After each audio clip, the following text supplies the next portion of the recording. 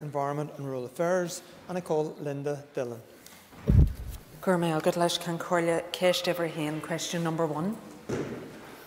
With your permission, Mr Deputy Speaker, I'll take question 1 and 13 together. My department has made every effort to prepare traders and haulage businesses to implement the new processes required to move goods from Great Britain to Northern Ireland. During November and December, the department held a series of trader information seminars, during which presentations were made to a large range of stakeholders the processes were explained and participants were able to put specific questions to an expert panel. We are in the early weeks of working with the new arrangements brought about by the EU exit. There is a period of adjustment as everyone adapts. The regulatory checks under the protocol are particularly pronounced for agri-food. These are long-term problems and not easily solved. Many are proving intractable issues. However, we will continue to mitigate against those and call upon the EU to show pragmatism for Northern Ireland. My officials are working with industry, logistics companies and hauliers to achieve compliance. I have also raised these matters with the United Kingdom Government and the Commission Vice President to highlight the current difficulties and press for better solutions. I am clear that while we work towards solutions, the protocol is the main cause of the disruption within the internal market. As a result of the protocol, UKG and the European Union have ensured additional costs to businesses, Northern Ireland consumers and impacted market chains, reducing choice and limiting supply GB, from GB businesses. We also need to work to mitigate against cliff edges at the end of the grace periods in the next three to six months. I call Linda Dillon for supplementary. Thank the Minister for his answer. I suppose just for clarity, I think Brexit is the main cause of the, of the problems that we're having, uh, if we're going to be honest about it. Just in relation to then the conclusion of the trade and cooperation agreement obviously came at a, at a very late stage in the day, and the Minister will be aware of the concerns raised by the Chief Vet, Robert Huey, about the lack of preparedness. Have you had any engagements, Minister, with HMRC to provide better support for businesses, including, for example, a dedicated telephone helpline? Um, our department officials have worked very hard um, with everyone uh, to deal with the issues that have risen um, on the internal market as a consequence of the protocol, uh, which was supported by um, Sinn Féin. SDLP, Alliance and Green Party who called for its rigorous implementation. Uh, what we're seeing at the minute is light touch implementation and the problems that we are facing are as a consequence of light touch implementation. Once we get the rigorous implementation that uh, the parties uh, have requested, we will be in a considerably worse position. DAERA hosted a post of end of transition webinar on the 7th of January and the event was targeted at businesses in GB and Northern Ireland aimed to help implement the new arrangements. DEFRA colleagues and representatives from HMRC participated in the event and extended the communication reach to GB businesses via their engagement channels. Members of the Trade and Agriculture Committee will also alert their counterpart representative organisations in GB of the opportunity to dial into these events, and work is ongoing with DEFRA colleagues to develop complementary messaging around key issues and develop a structured approach to assisting businesses to adapt to ongoing changes following the end of the grace period. I call Paul Givan. Uh, Deputy Speaker, the unmitigated disaster that is the Northern Ireland Protocol, propagated and delivered by the Alliance Party, Sinn Féin and the SDLP, that placed political ideology above the citizens of Northern Ireland, is causing an appalling state of affairs for many people across our country. What mitigating efforts, Minister, is being taken in engaging with Her Majesty's Government? And does that include the invocation of Article 16 to free us from the shackles that the European Union and those within this House have placed us under? Well, thank the member um, for the question. Um, with regards to that, there is considerable um, discussions are taking place at the highest level of government on a regular basis um, so Michael Gove, George Eustice, Brandon Lewis, um, the, the, various cabinets, appropriate cabinet secretaries um, are meeting with um, both ministers and indeed members of parliament um, on a regular basis. They're hearing uh, about the issues. And, you know, the issues are significant, and we need to recognise the issues are significant. Uh, but the three-month and six-month cliff edges are where the issues become really more problematic. And that does impact upon our hospital, hospitality sector. It will lead, unless there's changes made, to disruptions to supply to schools, hospitals, and also prisons. And I will reiterate that because some people were particularly disingenuous in the last week whenever I did raise it. That is what the minute of the meeting describes, not my minute, the official minute of the meeting. So, BBC and other media outlets, and indeed other politicians, may seek to undermine what I said and try to create some discrepancy in terms of the veracity of it. The minute is there. I call Patsy McGlone. Uh, thanks very much, Mr uh, Deputy Speaker, and I thank the Minister for his answers. Just uh, a short reminder is that no Brexit, there would have been no protocol. Simple as that. Um, but anyway, to get back to the here and now, uh, where we are, in regard to trade support services, um, Minister, have, has your department, and I have to say your officials have been very helpful uh, to businesses. However, uh, the, that cannot be said about trade support services uh, where there seems to be varying degrees of experience there.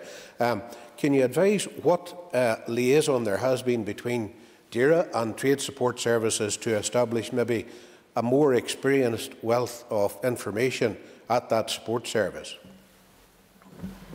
DAERA has, as a department, has been working extremely hard with everybody else that, that, that they can in terms of um, indicating to people what's coming down the line um, in terms of the implementation of the protocol and uh, what uh, the, the, legal ramifications of it are.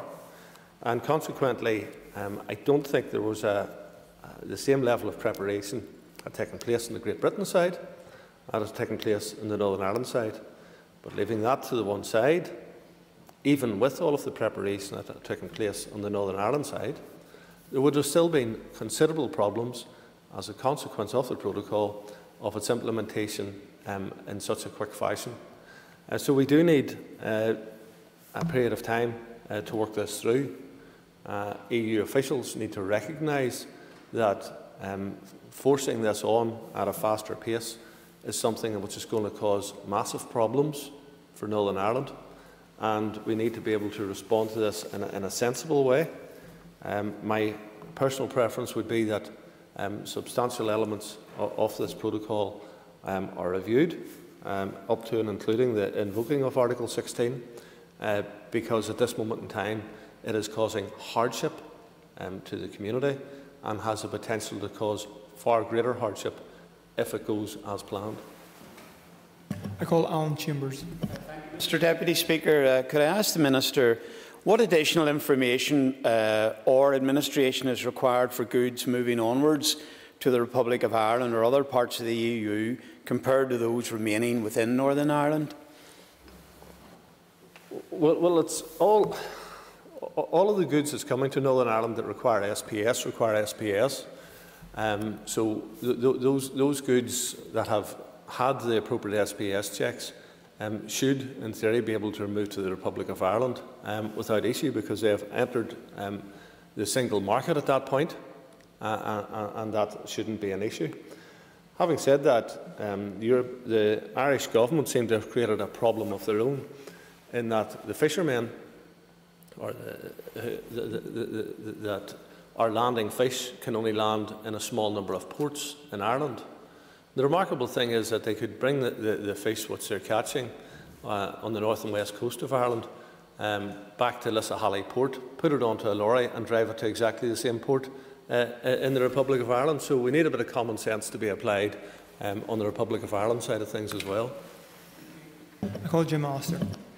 Well, the Minister is absolutely right to call out the Pan Nationalist Front for their demands for the rigorous implementation of the protocol.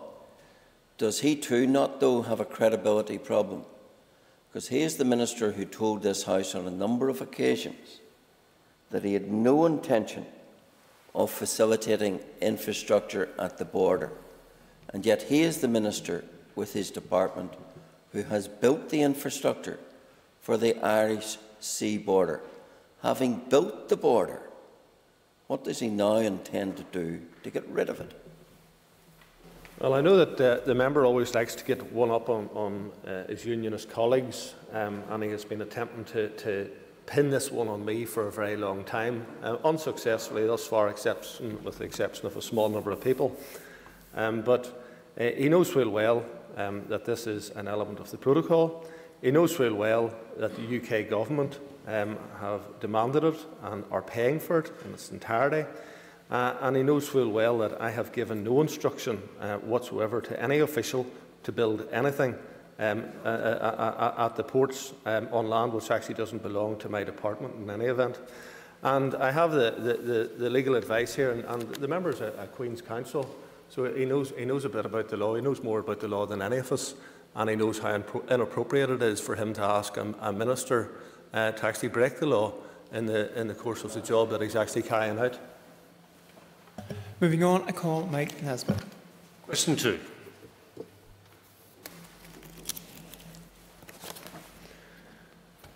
The analysis of the outcome of the UK-EU Trade and Cooperation Agreement by the Northern Ireland Fishermen's Federation, in particular that part that deals with the fisheries agreement, reflects understandable disappointment by the industry that more was not achieved.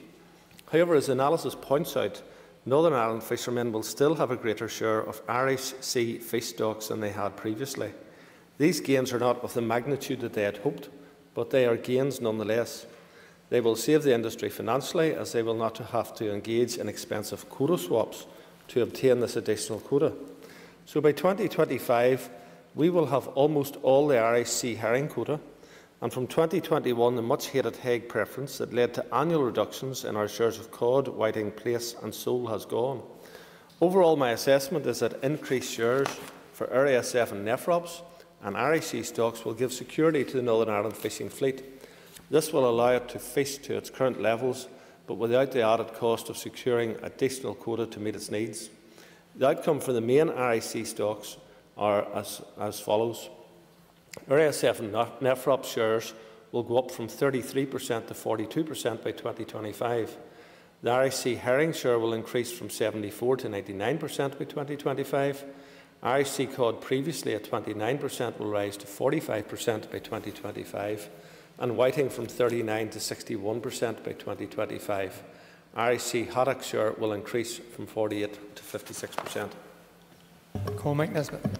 Uh, I thank the Minister. The, the Fishermen's Federation briefing paper is three pages long. I think it will be summarised by this one line, which I quote. The fishing industry had been led to believe it would be much better off. We are not. But looking forward, they are asking that the 100 million the Prime Minister has pledged for modernisation uh, should be allocated on the basis of need and certainly not by the Barnett formula. So can I ask the Minister what practical steps he is taking to ensure Northern Ireland's fleet gets its fair share of that £100 million reserve? Well, from 2 to 2.30 I had a meeting with Minister Prentis and her team um, from the United Kingdom Government and uh, we discussed these very issues, um, expressed her disappointment, which she agreed actually with, uh, in terms of the actual outcome.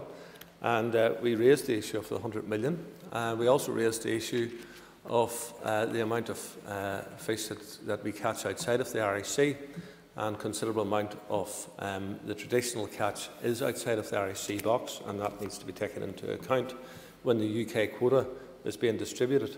Northern Ireland have uh, been taking around 8.4% um, of uh, the UK fish catch uh, traditionally. I am uh, pressing for that to continue to be the case in the allocation of quota and also in the allocation of the 100 million as the member rightly points out, should not be associated with Barnett. And as I rightly pointed out uh, to Minister Prentis, um, the need in Northern Ireland would be slightly different from the need in Shropshire. I call Philip McGuigan. Uh, Gura Melgard, uh, last can collier, and uh, whilst the internecine uh, combat between the TUV and the DUP uh, uh, is very interesting, and whilst it was uh, exceedingly ironic to hear Paul Givan, who, who's just left, uh, accusing others of pursuing decisions on the dogma of political ideology. Uh, I mean, Brexit is a serious issue, uh, and it was a serious issue when it was being pointed out to the DUP by businesses, traders, and political parties within this chamber this question, over the last please? number of years. Yep. Uh, I uh, am wanting to ask the Minister, does he agree with me that weak labour protections uh, within the trade and cooperation agreement could negatively impact on those involved in the fishing industry moving forward?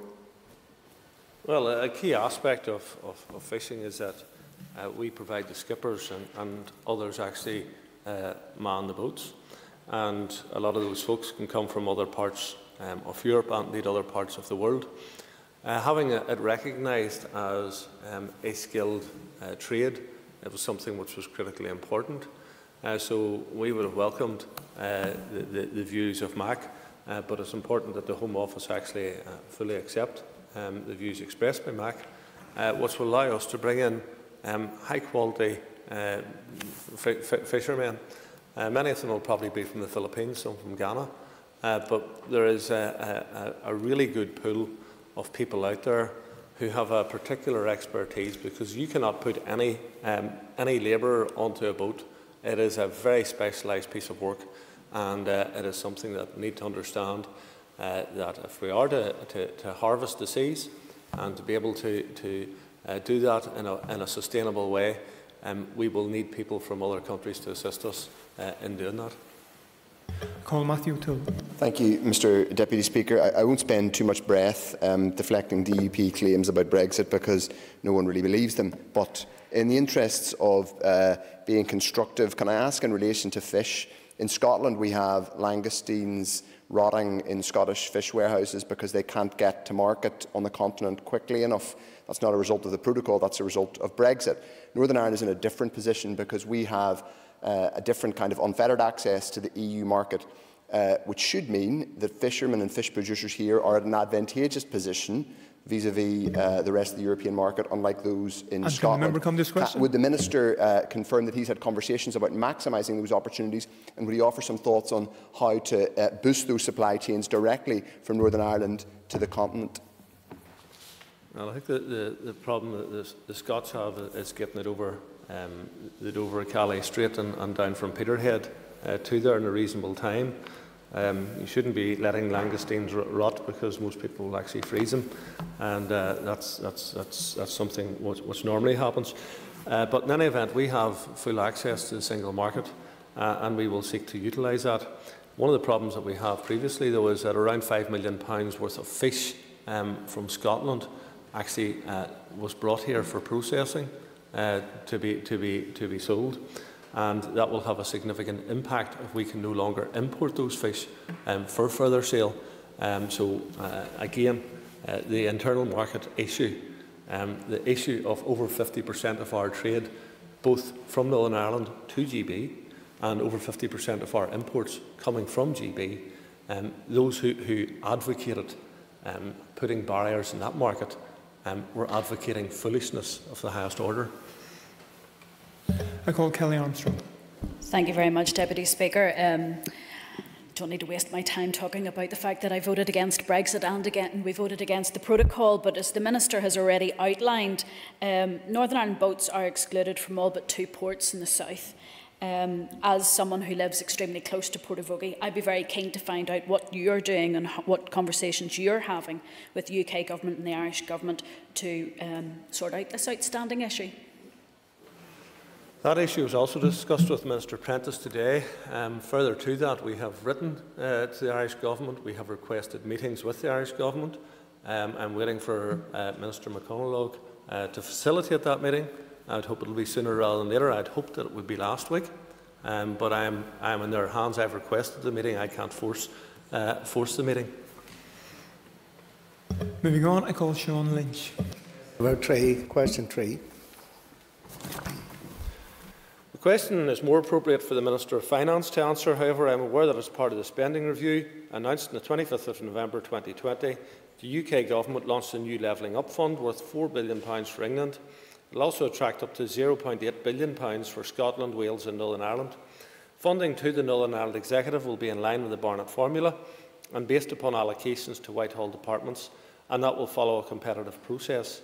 The timing and quantum of these allocations remain uncertain, and as with all allocations under the Barnett formula, this funding will be unhypothecated, meaning it will be for the Executive to determine how it is spent in Northern Ireland.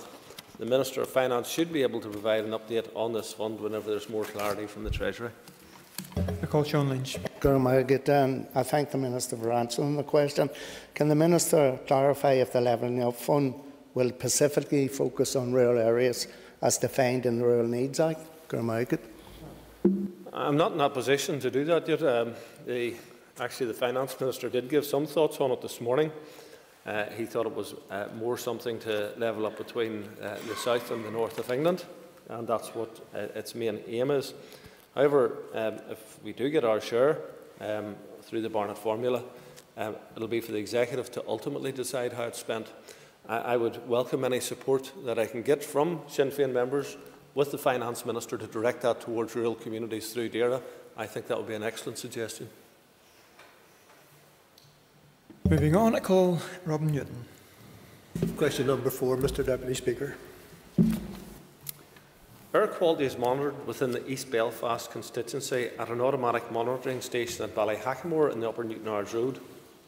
The pollutant that is monitored at this stage is nitrogen dioxide. Additional nitrogen dioxide monitoring, known as passive sampling, is carried out at roadside locations using diffusion tubes. Diffusion tubes are located at a number of locations across East Belfast. There's also a diffusion tube co-location study with three diffusion tubes located in close proximity to Ballyhackamore automatic site. These two methods of monitoring complement each other and strengthen the data gathered. Passive sampling using diffusion tubes takes place at a further seven locations across the East Belfast constituency. These locations are North Road, Short Strand, Knock Road, Station Road, Upper Newtownards and Holywood Road, Titanic Quarter and Upper Knockbreda Road. Historic data for the Ballyhackamore site and all other monitoring stations in the network are available online through the, my department's Northern Ireland Air website. I would like to encourage everyone to visit this site where you can download the new Northern Ireland Air app, see the locations of all the monitoring stations and receive the most up-to-date information on the quality of air across Northern Ireland. I call Robin Newton for supplementary. Thank you, Mr Deputy Speaker, and I thank the Minister for his uh, detailed answer. The Minister will be aware that uh, in London recently, um, a nine-year-old girl um, uh, was, uh, when the coroner ruled on her death, he ruled that it was air pollution made a material contribution to her, her death. Uh, can I ask the Minister, why is it that in Northern Ireland we only monitor the one pollutant rather than the variety of pollutants? Yeah, that was a very interesting case, and Belfast, whilst it is nowhere near the levels of, of um, perhaps vehicles and so forth that, that, that, London has to absorb and uh, the, the numbers, uh, nonetheless, because it, lies within a series of hills, uh, sometimes, uh, very often in fact, uh, the air does not change particularly quickly, and therefore, um, you know, the pollutants that, that are there uh, tend to stay in the atmosphere. Um, the reason, in terms of the, the nitrogen dioxide, it, it, was a pollutant that was particularly uh, identified as part of a review and assessment process that took place in conjunction um, with the City Council, uh, which was completed um, in early 2004. And that assessment concluded that modelled and monitored exceedances of short and long-term objectives for both nitrogen dioxide and particulate matter were occurring in the city and would be likely to continue to do so in locations beyond 2010. So as a consequence of the initial review and assessment process, Belfast City Council commenced extensive monitoring programme of nitrogen dioxide because it was the main pollutant of concern in Belfast and in particular the east of the city. I call John Blair. Thank you, uh, Deputy Speaker. Thank the Minister for the answer in relation to this topic. C can I ask further to the answers given if the Minister can make a commitment that the Clean Air Strategy will be published and implemented this year?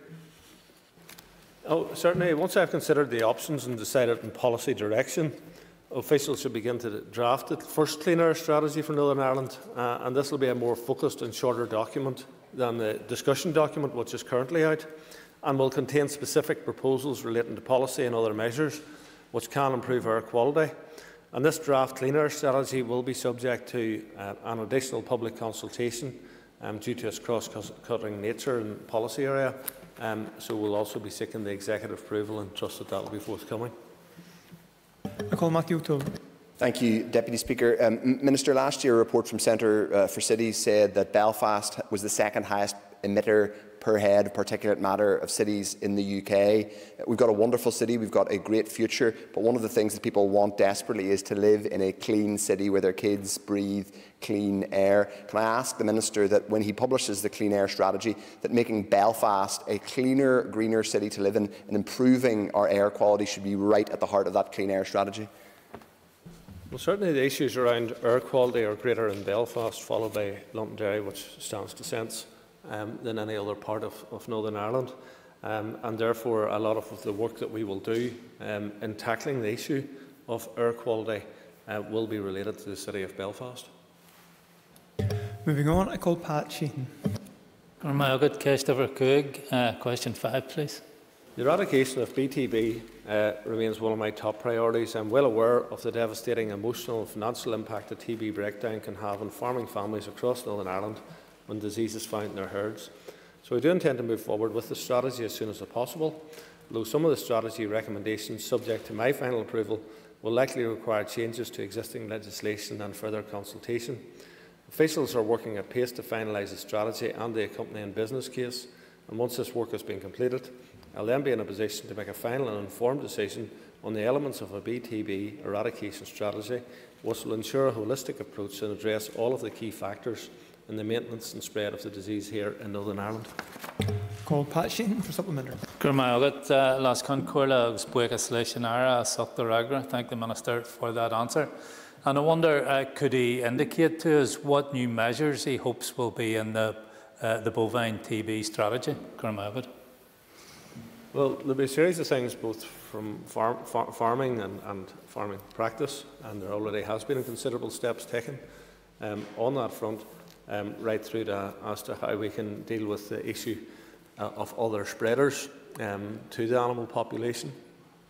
Uh, so there will be a responsibility placed upon uh, all uh, to ensure that we continue to drive uh, this disease downwards uh, in the bovine population and ensure that we have a healthier bovine and indeed wildlife pop population whenever this is concluded.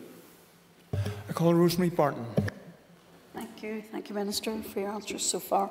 Minister, in the event that a farm has been closed with TB, can I ask, you're aware that within calves that are under six weeks, there's a very small incidence of TB in those calves. Is it not possible that a farmer could get calves under six weeks old, TB tested, sell them online or directly to another farmer, therefore not going through a MART system? Well, that, that would be a matter um, which the veterinary service will have to give advice on. Uh, in terms of it, uh, I would say our, our, effort at this moment in time is to drive down the spread of TB. I know that um, TB can be latent in animals, so animals that, that um, move can, can uh, not show any signs whatsoever, and at a later point uh, show signs of TB. Uh, so it's one of those, those difficult ones. We are looking quite seriously, and, and it's already happening in England, about moving animals from one closed herd to another um, closed herd. Uh, and those would be beef finishing units. Uh, and, you know, the possibility of people who specialise in calf rearing through to beef, um, taking that on. Uh, so that is something that we are looking at. I call Kelly Armstrong for a brief question. Thank you very much, uh, Minister. Just very quickly then, um, appreciate the time. I'm asking what consultation is taking place in the wildlife and conservation sector and um, just if you can clarify those badgers that are killed along the side of the road, if that service is still carrying on through COVID? Yeah, we've had engagement with the Wildlife, um, Ulster Wildlife Trust and, and others um, on this issue. Um, the, the piece of work that, that where badgers are sampled at the side of the road still continues and uh, there's a very high proportion of those um, are found to have to be carriers of, of, of TB. and that is the end of our period of time for listed questions, and we now move on to topical questions. I can advise members that question number four has been withdrawn, and I call Mike Nesbitt. Thank you, Deputy Speaker. I note the, the Minister has repeated his warning about the security of the uh, food supply chain, but he previously posted this on social media, and I quote, Cringeworthy comments from CBI Northern Ireland that there would be no food on our shelves. The bulk of the food on the shelves is produced within the UK, embarrassing themselves and scaring people who don't know the facts. Two contradictory statements, Deputy Speaker. Would the real Edwin Poots please stand up? Yeah, uh, that, that, that's uh, obviously been identified by someone who didn't actually pay much attention uh, to what the first tweet was about.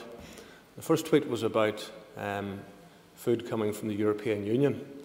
And were the member uh, to understand the subject well enough, he would realise that European Union accounts for around the rest, the rest of the, the rest of the EU, as it's described, accounts for around 10% of the food imports to Northern Ireland, where the food from GB accounts for over 50% of the food that comes to Northern Ireland.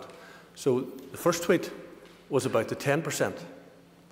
The issue that we're facing today is about the 50%. So some idiot uh, decides to conflate two issues, uh, which are two separate issues and then claim them to be of some great importance. Um, and I'm sorry that the member has, has built Uh, his question today on the, uh, on the work of NIDIR. I call Mike Nesbitt for supplement now. Uh, thank you very much indeed. Um, the issue does seem to be the protocol, and as the First Minister told this House last month, uh, the protocol was opposed, imposed upon us uh, and negotiated uh, by the UK government. Uh, and again, the Minister for Agriculture previously told this House, and it's in Hansard, and I quote, uh, I'm proud to be part of the United Kingdom and to put my faith in our national government. Are you still proud to put your faith in the national government? Well, I'm not sure about the member, but I'm still proud to be part of the United Kingdom, and uh, I will work uh, very closely uh, with everyone who I can uh, to ensure that Northern Ireland gets the best deal possible at all times. I'd have to say that the, the, the deal that was negotiated um, is not the deal that I'd have negotiated. It's not the deal that many people in Northern Ireland wanted. And the consequences of it is that um, there isn't um, so much a cultural barrier. Um, it doesn't impact upon us in terms of our standing within the United Kingdom on so many fronts. But it does create a trade barrier, and that trade barrier causes problems um, to both um, food processors uh, to food retailers and to consumers as a consequence of it. And I call Stewart Dickson. Thank you, Deputy Speaker. Uh, Minister, could you give us a, an update on the Ammonia Action Plan? The Ammonia Action Plan is something that um, we have had considerable work uh, in looking at, and uh, we are hopeful that we can make a real difference uh, in terms of um, dealing with the issue of ammonia. It, it is high in Northern Ireland given um, the fact that we have high livestock numbers um, for the, the, the, square miles that exist in Northern Ireland. That's not something uh, that is bad because it creates employment for around 100,000 people and brings £5 billion into the local economy. Uh, however, uh, we do need to address this issue and as a result of work that we are doing, uh, we believe that we can considerably reduce the amount of ammonia going into the atmosphere um, uh, over a relatively short period of time. Uh, certainly the first 20% um, is something that we believe that we can uh, make a, a, real dent in quite quickly. Uh, some of the challenges beyond that uh, will be greater and will involve more significant investment. I have raised the issue of investment um, with the Finance Minister and indeed the Executive uh, in relation to meeting our new decade, new approach commitments um, on the environment um, and also uh, the issues arising out of ammonia. I call Stuart Dixon for supplementary. Thank you. Thank you, Minister, for, for your answer so far. In that action plan, Minister, will you address or will the action plan address the issues of uh, bioaerosols which are released, uh, particularly from pig rearing and its associated activities? Uh, uh, indeed a great source of nuisance uh, to many residents in uh, residential areas, not least of all in my constituency in the Monkstown area. One of the best means of actually addressing those issues is, is actually the housing uh, that uh, animals um, have. And I'd have to say that there has been tremendous progress made um, on housing and on reduction of ammonia um, coming from, from, from housing. So the, the more modern um, pig units um, are considerably better than the existing ones. So it's with some alarm um, whenever I see planning permission refused um, for replacement pig farms, in spite of the fact that they had recognised that there would be a, a significant reduction uh, in ammonia uh, by the construction of the new development um, over the one that currently existed. I call Alex Easton. Thank you, Mr Deputy Speaker. Would the Minister agree with me that the need for a pet passport between Northern Ireland and the UK is unnecessary and was part of the Northern Ireland Protocol supported by the Green Party, Sinn Féin, the SDLP and indeed voted for at Westminster by the Alliance Party? Yeah, thank, thank the member for the question. In terms of pet travel, um, this is a vexed issue. Um, it really just shouldn't be the case that, that this is happening. Uh, I consider it cruel um, to actually have to put pets through uh, the administration um, of unnecessary medication. So, you know, forcing pet owners uh, to get a rabies vaccination um, on a pet, and indeed the tapeworm uh, administration, whenever neither tapeworm nor rabies exists on the British Isles, is something which shouldn't be happening.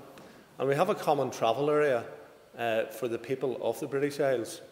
And in my opinion, the European Union should recognise that common travel area that exists uh, for human beings and have the same uh, for pets. It has a particularly negative impact um, on the issue of guide dogs. And as a consequence of that, we will have less uh, people who are um, blind or partially sighted able to access guide dogs as a result of this protocol, and that is cruel. I call Alex Easton for supplementary. Mr Deputy Speaker, thank the Minister for his answer so far. Can the Minister give a reassurance that his department will continue to look at all avenues to try and resolve this issue that has been imposed on our pet owners? I indicated the meetings that had taken place earlier, um, and we are in regular contact uh, with Michael Gove, um, Brandon Lewis, uh, George Eustice on a range of issues.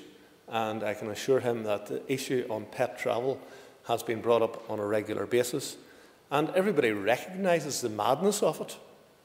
But we need pe people who have the authority to, to, to, actually deal with the madness of it, not just recognise it. Moving on, I call Karen McKinnon. Um, can the Minister detail what his department is doing to eradicate harmful, harmful pesticides, uh, particularly on our food uh, and flowers here? Well, in terms of pesticides, um, this is actually governed by the European Union and we will still be under the regulations um, of the European Union. Uh, so there is a, a, a committee that, that, that, deals with these issues and uh, it's made up of, of, of, a range of experts who will give advice on it. Uh, and we in Northern Ireland seek to comply uh, with the regulations that come on that. I call Karen Killen for supplementary. And I thank the Minister for his response. Um, could he also provide assurance um, to do everything he can to protect our Indigenous bee population, which is so crucial and critical to our ecology and our, indeed our environment? Well, one of the issues for, for bees, and she, uh, the, the, the, member is quite right, he said minister there, but the member is quite right to, to raise the, the issue of, of bees, um, is pollination. And we can, you know, obviously the issue of pesticides is one element of it, but also creating areas uh, for pollination is, is very important.